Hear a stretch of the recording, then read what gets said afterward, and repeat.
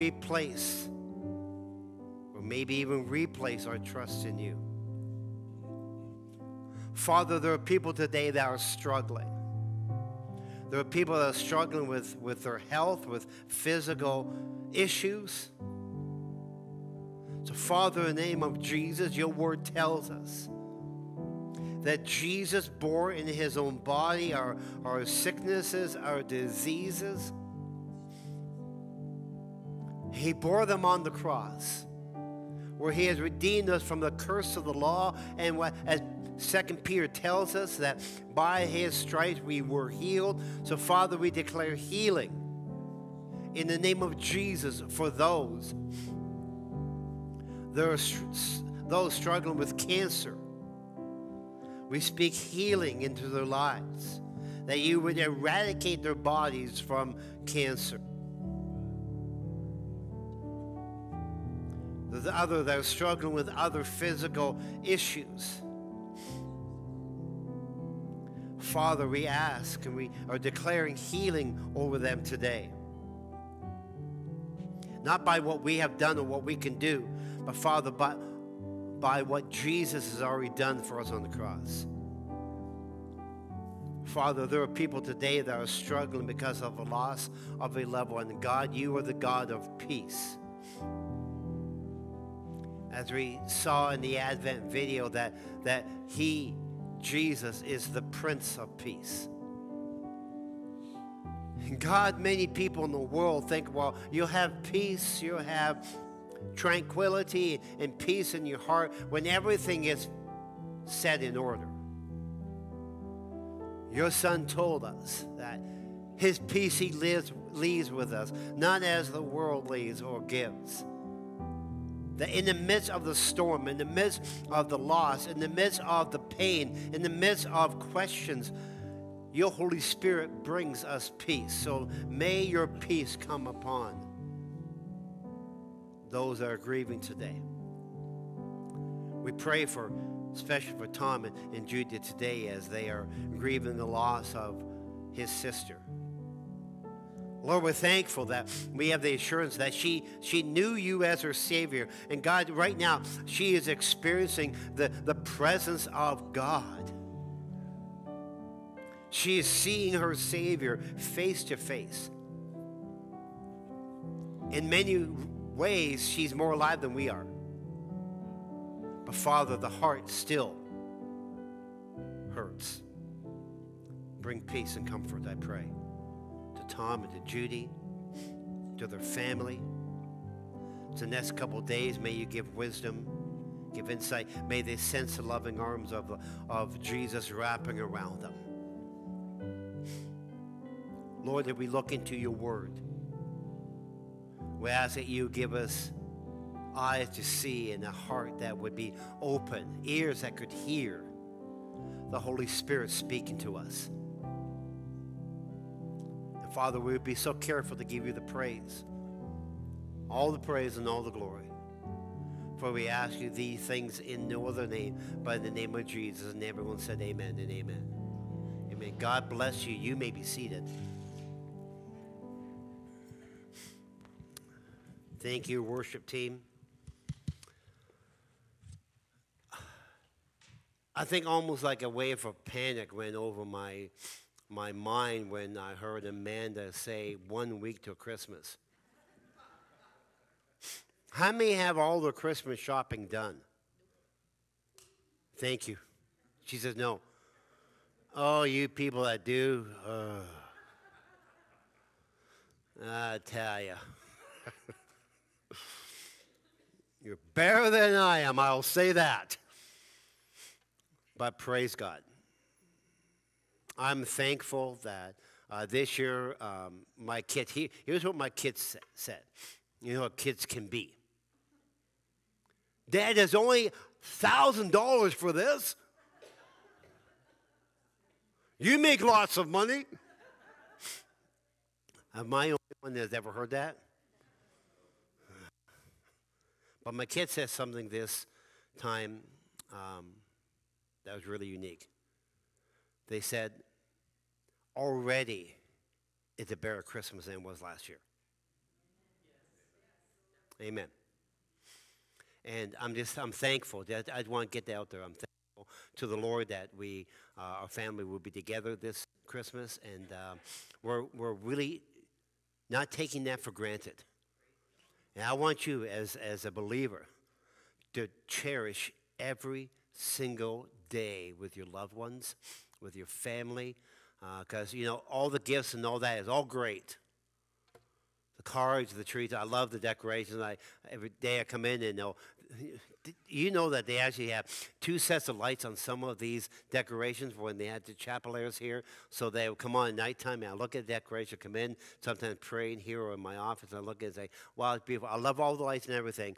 But the reality of it is, I'm thankful more that Jesus sent his son for us and we can have time with family. So I'm really thankful for that. So cherish the time for the, with your family. We will be having our Christmas Eve uh, candlelight service on, I think it's Saturday night, December 24th, obviously. Uh, so come, it's going to be a one-hour service. We have some great music, uh, sing some Christmas carols. Uh, for that, you really enjoy. I think the cafe will be open uh, on that night as well. Uh, just so you know, there will not be a Christmas Day morning service on Sunday. I know some of you saying, not meeting on church on Sunday. But spend it with your family, enjoy your family. I believe the Lord understands with that. So don't come here Christmas Day because you will be entertaining yourself.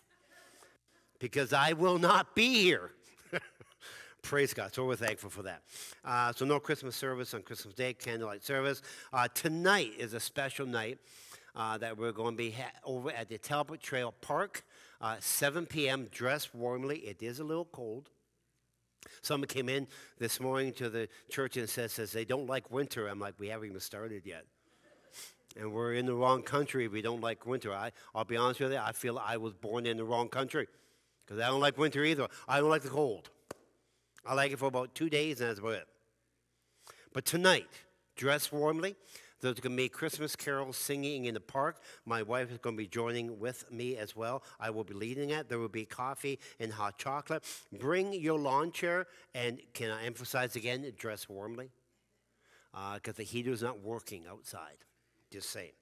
Uh, mailboxes. If you uh, have a mailbox, please check it. There are some Christmas cards and different things that are in there. If you do not have a mailbox or you are not sure you would like to have a mailbox, is one of the ways we communicate back and forth with uh, people in the church. Uh, you don't have to be a member to have a mailbox. Uh, if you want a mailbox, uh, see either myself or Pastor Ryan, and we'll get there. at the mailbox, there's a list of all the names of people that have a mailbox. If you look there, you do not see your name, please do not get offended. Just come let us know, and we'll put your name down there. We'll give you a mailbox. Amen? Amen. Just another quick uh, reminder. Uh, I went up to someone today and went to shake their hand that they want to shake hands. Uh, we're at that time of year uh, that we need to realize that some people will be comfortable at shaking hands.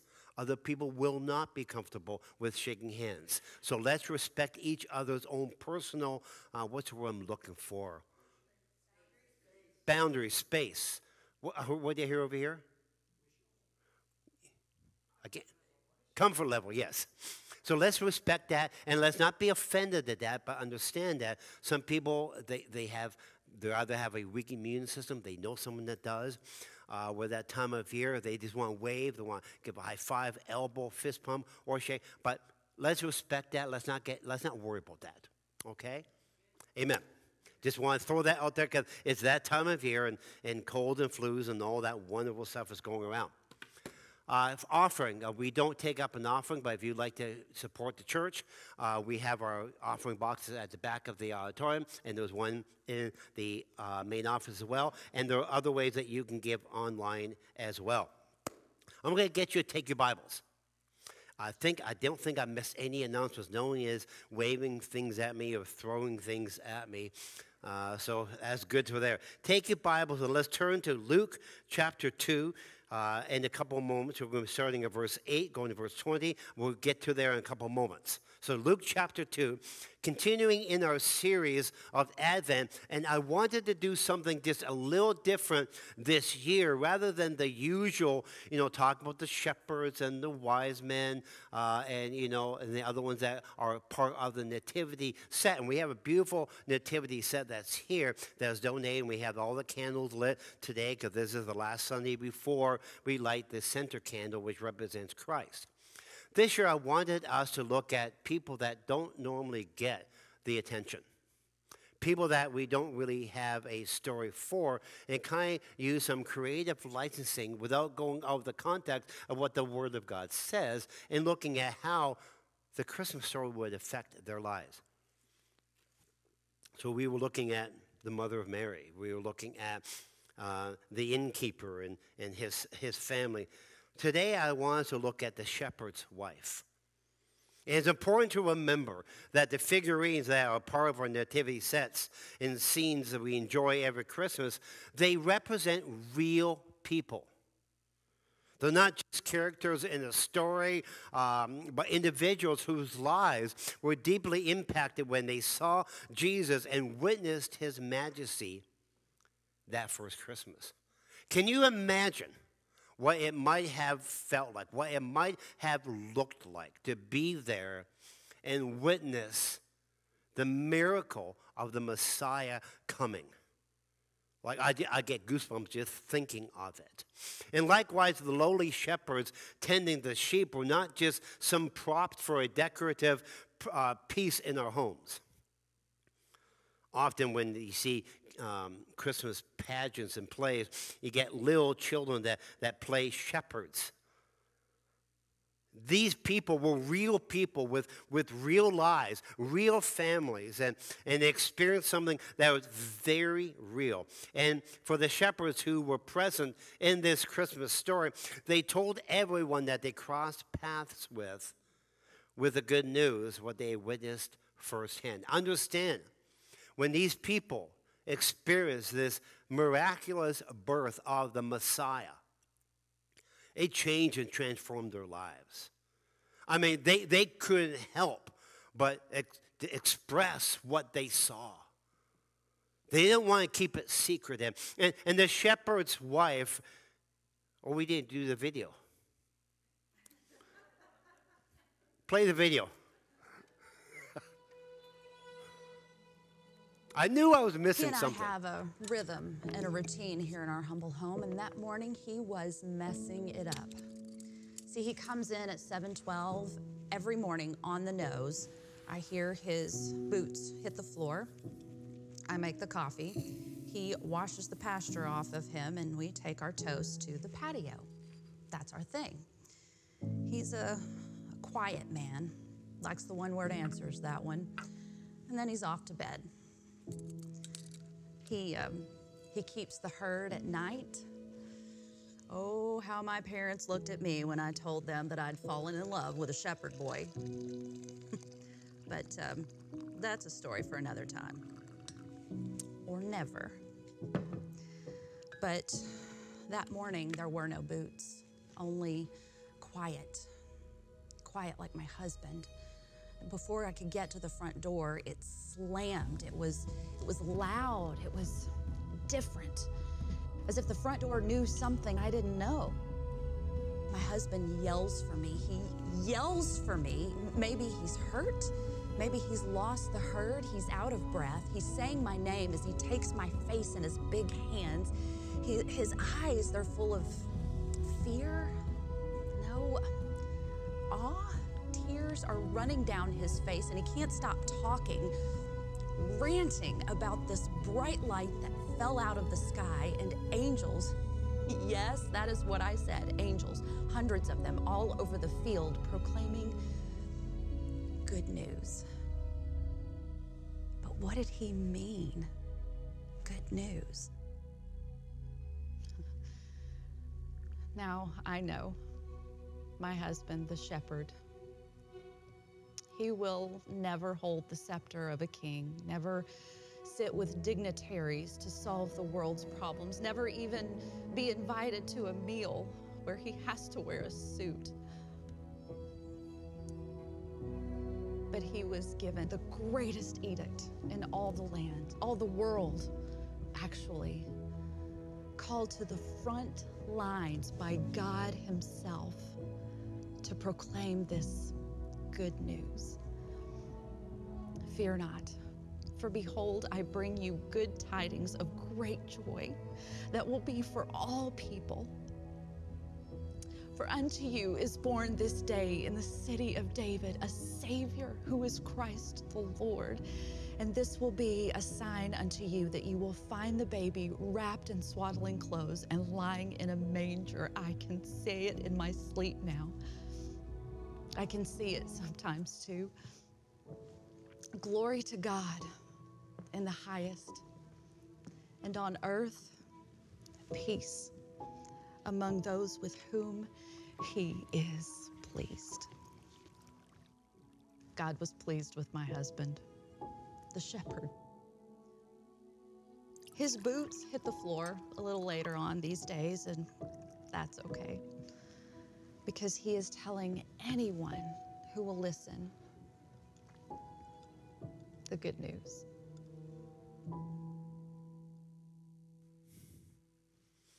Amen. Now, the shepherd's wife in the video that we saw recounted part of the good news found in this story that we are going to read. But let's take a moment and let's read it together. Luke chapter 2, verses 8 to 20, that says this That night there were shepherds staying in the fields nearby, guarding their flocks of sheep. Suddenly, an angel of the Lord appeared among them, and the radiance of the Lord's glory surrounded them, and they were terrified. But the angel assured them, "Do not be afraid," he said. "I bring you good news that will be uh, will bring great joy to all people." The Savior, yes, the Messiah, the Lord, had been born today in Bethlehem, the city of David, and you will recognize him by this sign. You will find the baby wrapped snugly in strips of cloth, laying in a manger.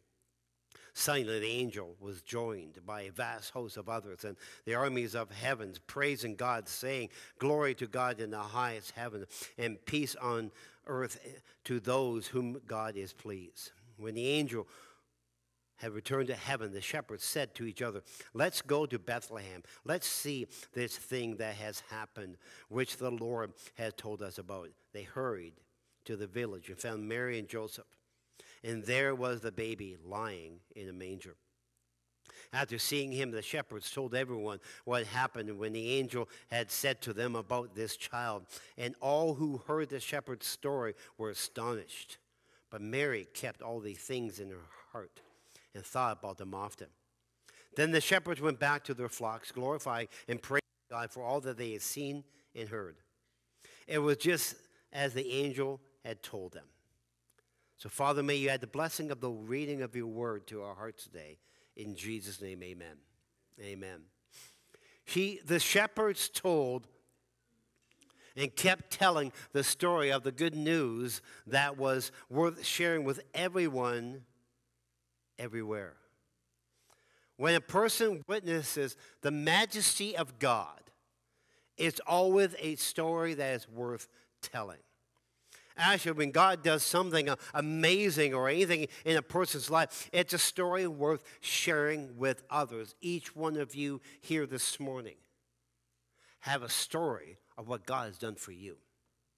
And God wants us to share our stories about how He has impacted our lives, influenced us, and changed our lives from the inside out. That was one of the reasons why I shared what we have gone through over the past several years so that you would see our, part of our story. Now, there's more to that story. Because sometimes it, it can be a long story or a shorter story. And each one of us have a story of what God has done in our lives. And yes, we serve a story loving and story writing God. The writer of the book of Hebrews has something very interesting to say in the description of Jesus in correlation to our story. In Hebrews chapter 2, chapter 12, verse 2 said, Let us fix our eyes on Jesus. I love that phrase. Let us fix our eyes on Jesus, the author and the perfecter of our faith. He is the author of your story. He is the one that is working in your life. And it is a story that he wants you to share with others. Have you ever really thought what it means for Jesus to be the author of your faith story? Do you realize that when that Jesus is authorizing your faith story so that he can receive all the glory for himself? I love Revelation. I've said this verse multiple times. It's one of my favorite verses in the Bible. Revelation 12, verse 11. And they overcame them by the blood of the Lamb and by the word of their testimony. See, you can argue doctrine. If you don't believe that, just look at how many churches are, are around the community. Each one has their own perspective and take on, on what some verses in the Bible would say. And I bet you if we would go around and, and give different doctrinal views from this audience, each one of us would have a different view of how we see things. And I'm okay with that. But you can't argue a story. Can't argue what God has done in someone's life because that is what he has done. That's what they have experienced and how they have seen God. And it is for the purpose of him receiving glory, not us. I would love to say that I was a part of my story and, you know, I did this or I did that, but I'll be honest with you. There was times where I, I, I was falling down where I needed the power of God to come into my life because I didn't think I was going to make it through another day. And I love the, the, how, how God meets us in those moments. And in those moments, it's like we say, God, you just can't hang on any longer. And then He says, Well, then let go and let me hold you because we hang on to things in, in our lives so tightly, so tightly. And sometimes He wants to sit there and say, just let go and let me hold you. And that means that the ultimate, ultimately, your story is not so much about you. My story is not about me. Instead, it's about living a life that, that constantly points back to the birth, the life, the death, and the resurrection of Jesus. And this is what we see the shepherds doing in the birth narrative of Jesus' story. They were telling their version of the story and what they saw, what they heard, what they witnessed that focused on Jesus. In other words, even though you have a, a main role in your story of your life, the true star of the script is the author and the perfecter of your faith story. So, Jesus. So, if you're hoping to be a star in your own movie, sorry, you're not the star. Jesus is. John emphasizes this point in the gospel what, count when he said in John chapter 3, verse 30, he must become greater and I must become less. We focus so much on who we are. Can I just throw it out there? We are nothing without him. Absolutely nothing. I don't care what education we have. I don't care what status in society we have. I don't care how, how much this or how much that we have, we possess. We are absolutely nothing without Him. And the believer that realizes that sooner is better off. Or as one person said, more of Jesus and less of me is a good thing. I don't want people to see me. I don't want people to look at me and say, wow, you're, you're, you're such this or you're such that. I want them to look at me and one of my prayers is when, when people see my life and they, they talk to me or they encounter me or we have a conversation, I want them to be able to, to, as what the Bible says about the apostles. Remember what it says about them? They marveled that these men had been with Jesus. Now, th- these guys who were with Jesus, they didn't have, you know, the, what's the um, Christian bling. Peter and them didn't have on the back of their donkey, you know, what would Jesus do? Tattooed. They didn't wear a, a, a cross on their, around their neck or didn't have a big uh, 90 pound Scofield Bible. They didn't have a mug that says, What would Jesus do? or but it says that they marveled that they had been with Jesus. They had met with Jesus. In other words, there was something in their lives that when people saw them, they said, You've been with Jesus. Even remember when Peter was denying Jesus, that a young maiden woman came and said, You're with him, aren't you? You talk like him, you act like him. I've seen you with him. Let me ask this if we were arrested today, if authorities came crashing in these doors, now we're living in another country, that could be a very strong possibility. Be thankful for the freedom you have in our nation now. But if they would come crashing in the door here and arrest every single one of us and haul us off to jail,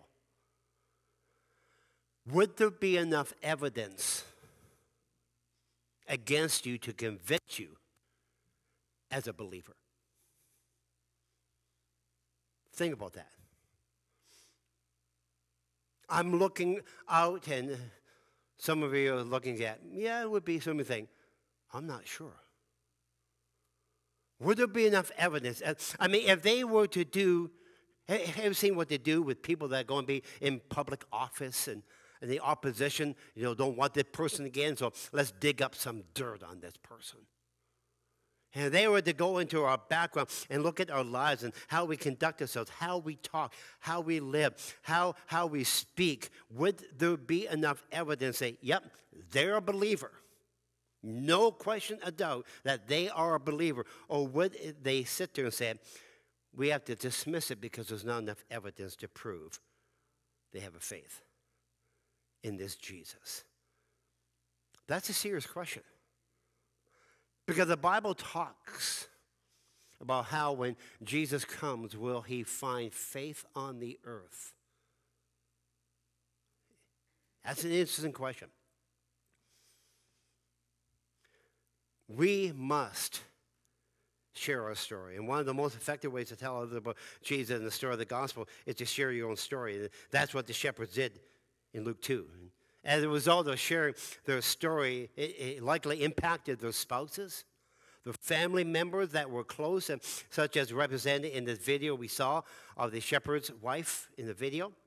And she, in turn, then told her story and how it impacted her husband, herself, and her relationship. Yet, these stories are powerful and have ways of impacting lives. And, and any good story has a beginning, a turning point, and then the conclusion that leads somewhere in the response to a, the turning point. In our shepherd's story, the beginning was them out in the fields keeping watch over their flocks by night. The turning point was when the angel showed up with the good news of a great joy about a Savior being born. And then they are invited to see as he laid in the manger in the city of David as they went and found the Christ child wrapped in swaddling cloths in a manger. They witnessed his majesty just as the angels told them they would. The conclusion led them to leave the manger while praising God and telling everyone this good news that had been shared with them. That was their story. They shared it freely and joyously because it was their personal experience. Let me ask this How often do you share your story?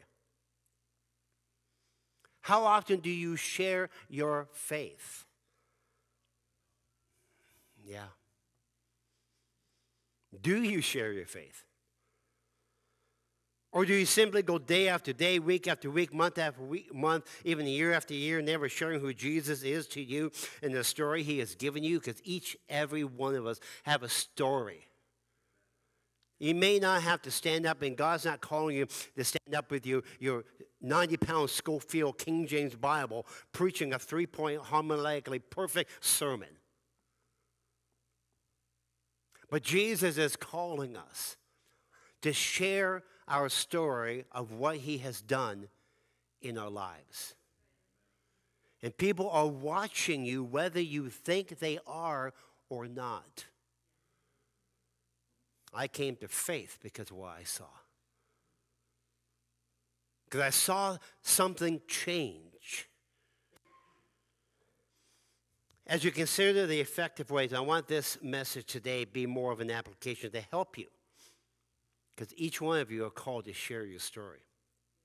Some of you, it may you may be afraid. You may be fearful. You might think, well, I can't do that. I'm not that type of person. Yes, you are. If you're a believer, you can share your story. As you consider different ways to share your faith story with others, Doug Fields, in his resource, the greatest, the second greatest story ever told, suggests to organize your thoughts around three chapters of your story.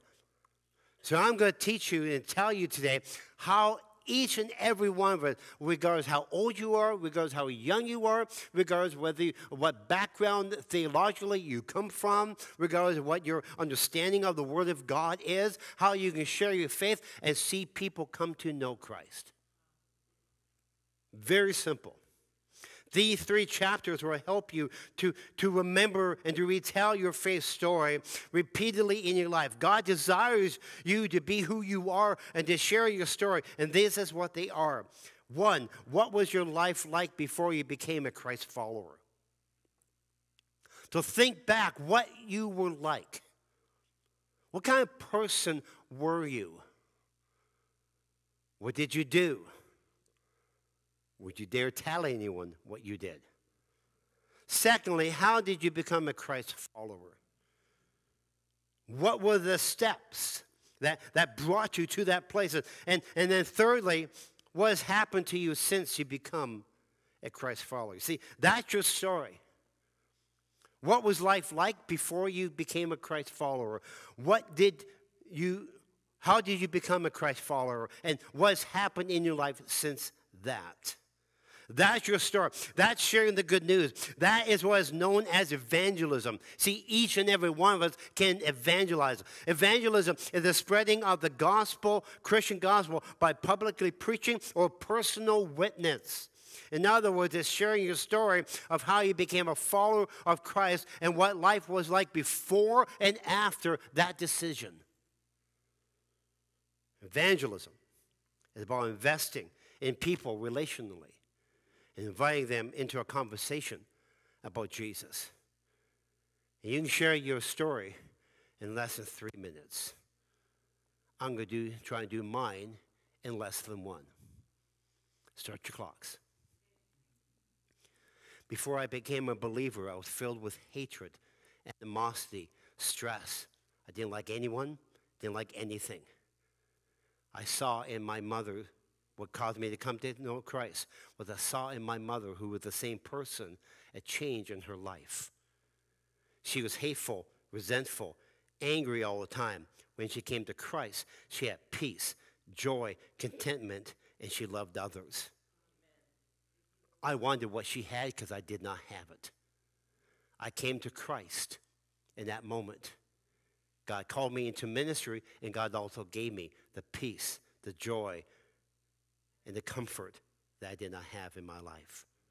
That's what's happened since I became a believer. The hatred he took away. How do for time? No one checked. I could have gone on. I like how one guy said, Brian McLaren says this Count your conversations instead of your conversions. You never know what someone might need at that moment. What he means is this according to the Bible, it is God who draws people to himself. It is God who does the saving. The, the name of Jesus means God saves. And that song we sang, My God, my Savior, it is God who saves. The angels told the shepherds to go to Bethlehem because a Savior had been born to save the world from those sins. I love what the book of Revelation says in Revelation 10, chapter 7, verse 10. Salvation belongs to our God. God still saves. In other words, it is God who is author, authoring your salvation story and he's authorizing it throughout the world, not us. It's God who does the work. It's God's idea of the incarnation to happen in such a way that eventually lead to the cross where Jesus would, would save the world from the sin that separate us from God. It's God who initiated that. We turned from God. And God, who, who did nothing wrong, initiates the plan of salvation. Jesus is the central part of the salvation story. However, God wants to write us into the script. He wants to partner with us. Isn't that amazing?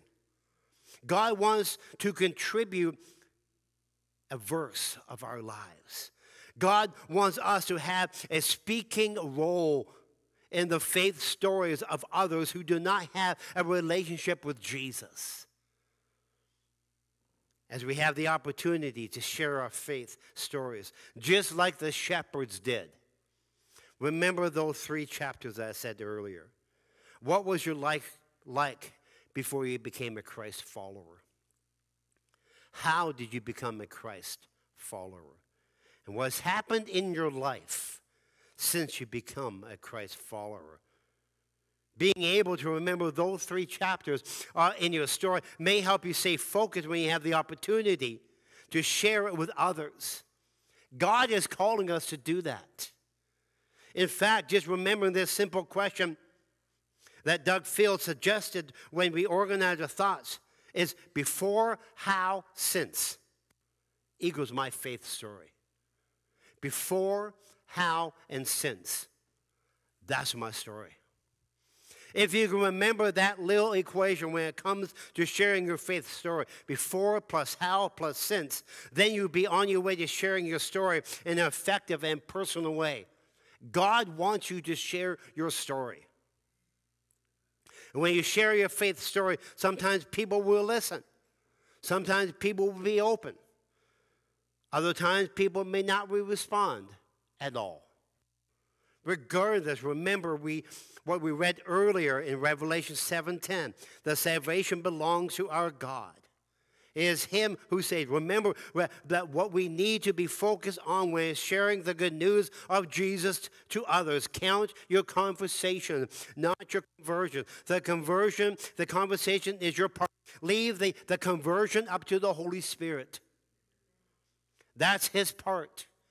We need to just be faithful in sharing our faith story. You, you can control that part of the things. You can't control how people will respond.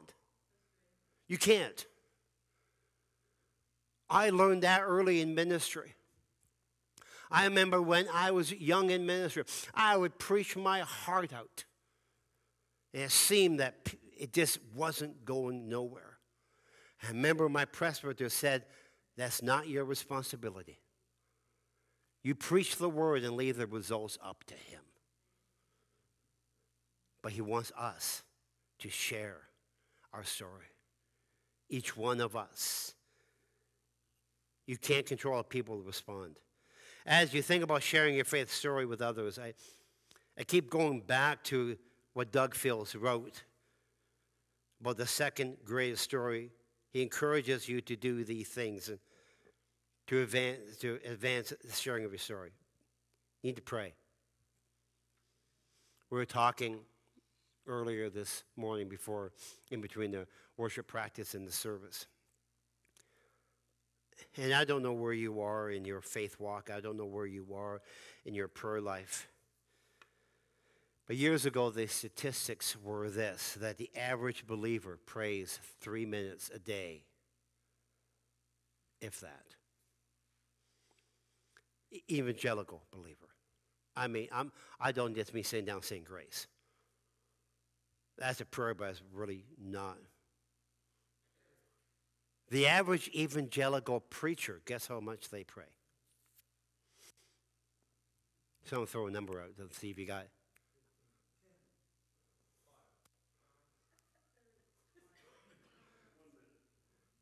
About four minutes a day.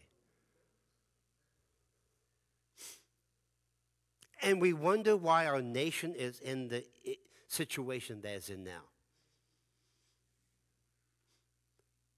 The preachers are not that much better than the average evangelical Christian. Three to four minutes a day. I, met, I remember when I was a brand new believer, I didn't know. I thought she was doing good until I actually realized that this person would read one verse of her Bible a week. I don't think she would finish reading her Bible if she lived to be 300 years old. We have to take our, our faith walk seriously. Uh, and, please, please forgive me if I offend you. But I, am seeing in, in, in, a, in a lot of believers that they don't pray and they don't read the Word. I've sat with people, nobody from this church, but I've sat with people who are my age. And we would just, biblical stuff would just come up, talk about the Bible, and simple biblical doctrine. This is several years ago. My, my, my son Daniel was about 10, 11 years old. And we're talking about just simple Bible stuff, like anyone knew. And this person's looking at me like deer in the headlights, like, and I'm thinking to myself, don't you understand this is in the Word? It is. My mind think I didn't say this to them. Maybe I should have. My 10 year old has a deeper understanding of the Bible than you do. Folks, we need to get into the Word, and, and the world has made us lazy. One of the things we said this morning, I don't, they got my phone back there. I have, I'm, I'm, I'm just going to digress it for a few moments, so bear with me. On my laptop, I have a program called Logos, and I have Olive Tree Bible. I have probably about 5,000 books and commentaries and articles from these programs on, on this, right here. We live in a day and age where we can grab our smartphone and Google any preacher on the planet. I'm not talking about big ones that have got big names. If you want to know of, of Joe Smith in, I don't know, some way out place, because of COVID and because of the pandemic, most of the churches are online and you can see what they're doing. There's never been a time in, the, in history where the, the, the, accessibility to the Word of God and biblical, good biblical teaching has been more readily available to us than it is today. But what I'm seeing, and again, please, I apologize if I offend you. What I'm seeing is that there's more biblical illiteracy in the church than ever before. My only conclusion is that we either don't care or we become lazy and apathetic. God has a story for us to share. And we need to pray. We need to be in the Word. We need to pray. We need to seek God's face. I guarantee you, I pray more than four minutes a day. I pray like several hours at least every day. Wasn't always that case. But pray before you're talking to others about your story. Be sure to remember, ask God to help you organize your thoughts. Prepare your, your heart and the heart of the person you will be talking with and, and give you the confidence for you to share your story in a way that God can work through you. Next, you need to organize your thoughts before, how, and since. Before you begin to share your story, it's wise to take some time to think what it is you want to communicate when the opportunity arises. Those who take time to prepare beforehand and think through what they want to say, want to communicate, generally more effective in communicating their story to others. Remember, organize your faith story. Remember before, how, and since. Maybe even write it out. Take time to write it out and go through it and maybe memorize it. And fourthly, watch your language. Now, I don't mean don't sit there, uh, well, I'm not going to drop an F bomb. But as you write your story, be sure to remember that you're talking to people who don't know churchy language. Or I like this one, Christianese, as some have called it. So be aware of using words that people who have not grown up in the church may know. For example, instead of saying I've, I, I've asked Jesus into my heart, maybe say I've asked Jesus to be in charge of my life. And then explain. Be sensitive and intentional about the language that you use in your writing down your story. If you cannot define the word that you are using, chances are the good that the person you're talking to will not understand what you mean. Keep it short, five minutes or less. Keep it short, simple, and clear. Practice it. Sharing your story should become second nature to you. Be ready to be able to share your story anytime. And, and why shouldn't you? It's your story. Share it like a, a shepherd who had just witnessed his majesty with someone you cross path with within your everyday life. Every opportunity I get, sometimes my kids would just roll their eyes, but every opportunity I get, I share what God has done in our lives. And I, I have it down now that I can share our testimony. I did at the ministerial less than five minutes. Talk about three years worth of what God has done in less than five minutes. And every single time I share it, it's not what I've done, it's what God has done. Every single time people like, wow, that's a miracle. To which I say, God still does miracles today. So let me close with this. What's your story? What has God done for you? See, your story may look completely different than mine.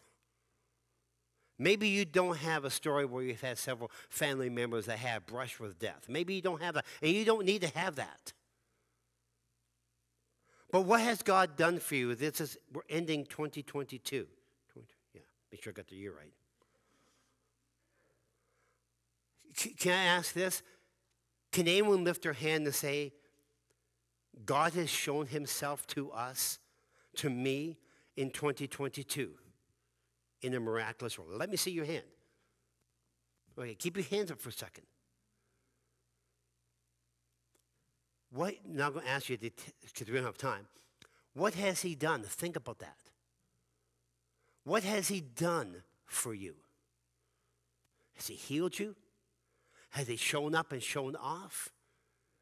Has, has he provided for you financially? Has he provided for you in this or that?